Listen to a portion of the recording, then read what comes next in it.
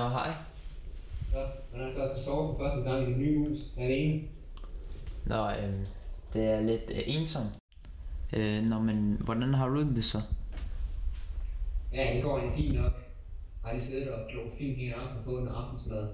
Det er virkelig smad. Jeg tror snart, jeg går i seng.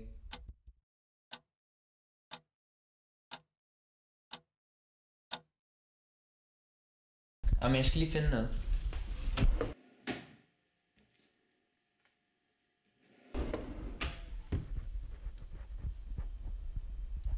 Hallo? Hvor er du henne? Hvad sker der?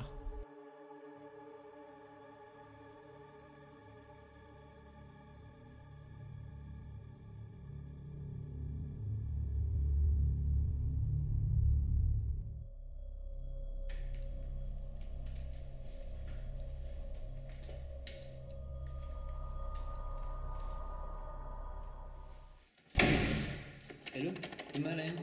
Hallo? Alo?